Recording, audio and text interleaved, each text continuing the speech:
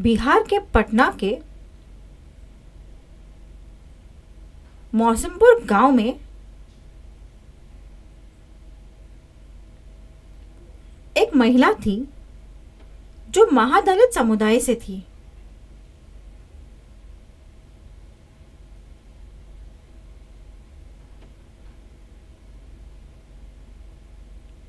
ये बेहद चौंकाने वाली बात है। महिला ने प्रमोद सिंह नाम के एक व्यक्ति से कर्ज लिया था, जो गाँव की प्रभावशाली जाति से था। उसने नौ हज़ार रुपए का ऋण लिया। इसके बाद महिला ने रकम और पंद्रह सौ रुपए ब्याज लौटा दिया।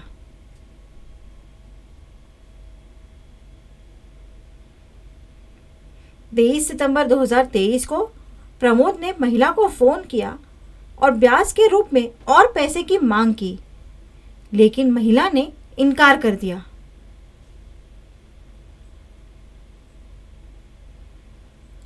उसने उसे फ़ोन पर धमकी देते हुए कहा कि अगर उसने उसे पैसे नहीं दिए तो वो उसे गाँव में नग्न घुमाएगा। इसके बाद महिला ने पुलिस में शिकायत की। पुलिस ने हस्तक्षेप कर मामले की जाँच की। प्रमोद क्रोधित हो गया और उसे यह अपने सामाजिक कद का अपमान लगा। उसी दिन रात प्रमोद महिला के घर गया और उसे जबरन अपने साथ ले गया।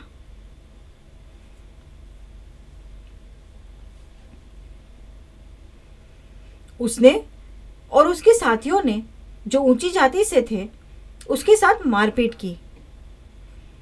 इसके बाद प्रमोद ने अपने बेटे से महिला के मुँह में पेशाब करने के लिए कहा। उसके सिर पर चोटें थी और जांघों पर पिटाई के निशान दिख रहे थे।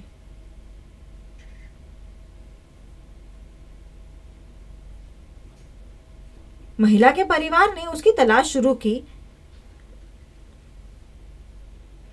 और उसे बिना कपड़ों के घर भागते हुए पाया।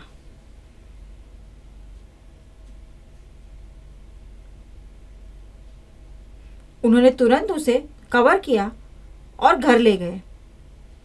उसकी जांघों के आसपास बुरी तरह से चोट लगी हुई थी।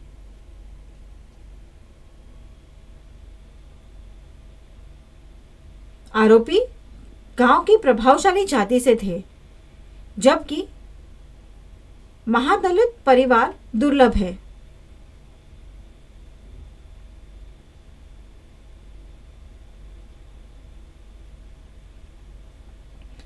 परिवार इस बात पर विचार कर रहा है कि स्थानांतरित हो जाए या नहीं।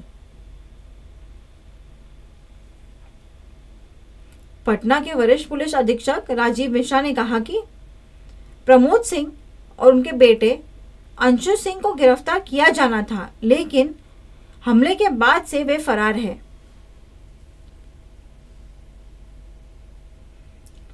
उसकी गिरफ्तारी के लिए छापेमारी शुरू कर दी गई है और पाँच टीमें गठित की गई है। कड़ी जाँच शुरू कर दी गई है।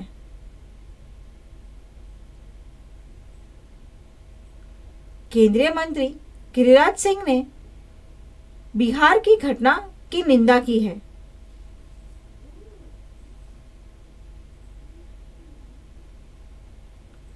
उन्होंने सरकार की आलोचना की और महिलाओं के लिए अधिक सुरक्षा की मांग की है।